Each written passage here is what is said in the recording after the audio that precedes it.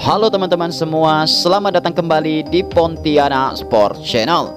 Timnas Indonesia U17 saat ini disibukkan dengan persiapan turnamen akbar Piala Dunia yang akan berlangsung pada tanggal 10 November tahun 2023 ini. Seperti yang kita ketahui, bahwa Timnas Indonesia U17 sudah resmi tergabung di grup A bersama Timnas Ekuador, Timnas Panama, dan Timnas Maroko. Melihat tim-tim yang akan dihadapi oleh timnas U17 tersebut, tentunya ini akan menjadi tantangan besar bagi sekuat Garuda Muda di turnamen terakbar ini.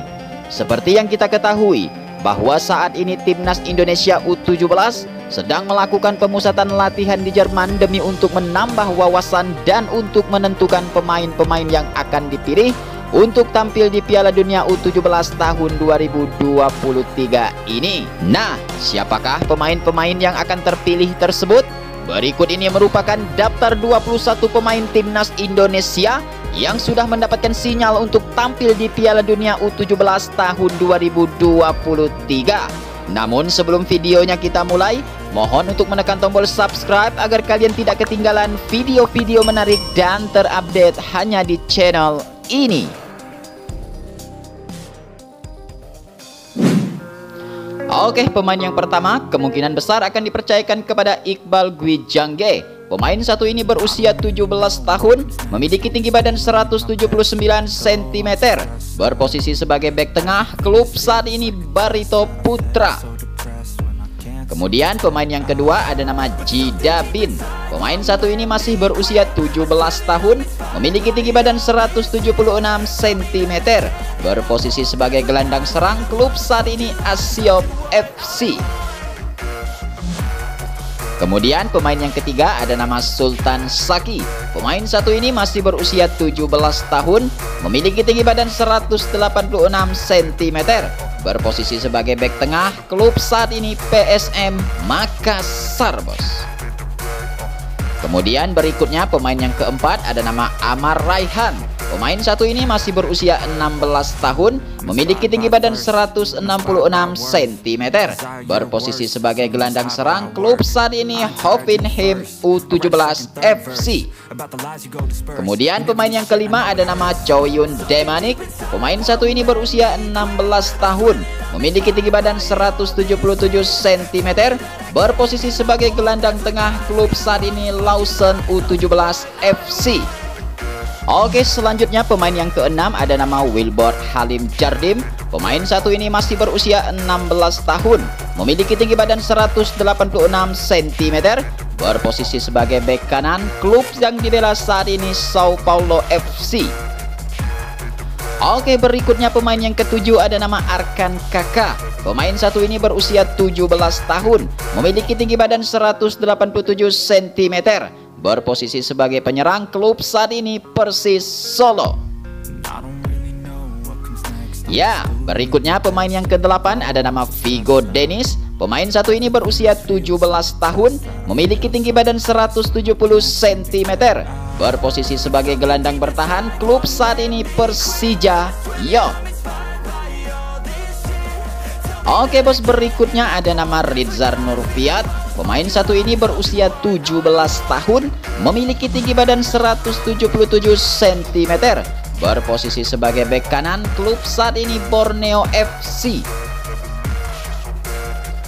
Oke bos, kemudian ada nama Nabil Ashura. Pemain satu ini masih berusia 17 tahun, memiliki tinggi badan 176 cm, berposisi sebagai penyerang klub saat ini Garuda Select.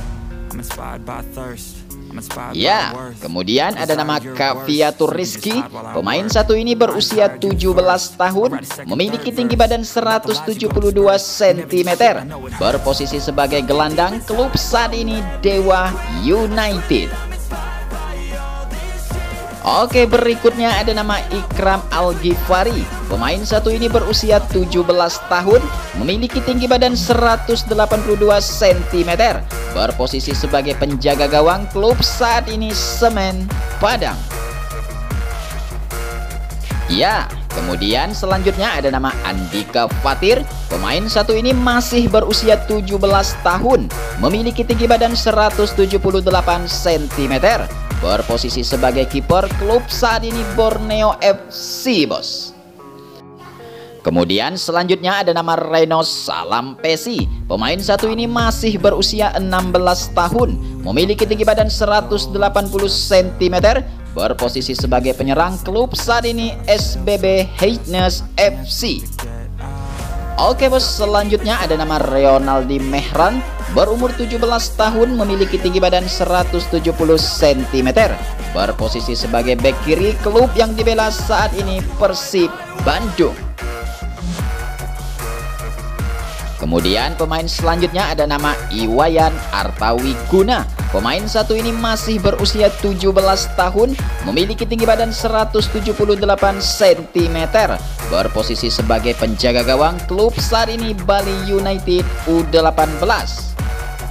Oke, pemain berikutnya ada nama Andre Pangestu. Pemain satu ini berusia 17 tahun, memiliki tinggi badan 178 cm, berposisi sebagai bek kiri klub saat ini Garuda Select. Kemudian pemain berikutnya ada nama Nabil Akbar. Pemain satu ini masih berusia 17 tahun, memiliki tinggi badan 171 cm, berposisi sebagai bek kiri klub saat ini Bayangkara Young. Oke bos, berikutnya ada nama Hanif Ramadhan. Pemain satu ini masih berusia 16 tahun, memiliki tinggi badan 169 cm, berposisi sebagai gelandang bertahan klub saat ini Garuda Select. Oke bos, kemudian ada nama Givari Lotra. Pemain satu ini masih berusia 17 tahun, memiliki tinggi badan 189 cm, berposisi sebagai gelandang serang klub saat ini Garuda Select. Kemudian pemain selanjutnya ada nama Rizky Afrizal. Pemain satu ini masih berusia 16 tahun, memiliki tinggi badan 168 cm, berposisi sebagai gelandang serang klub saat ini Garuda Select Boss.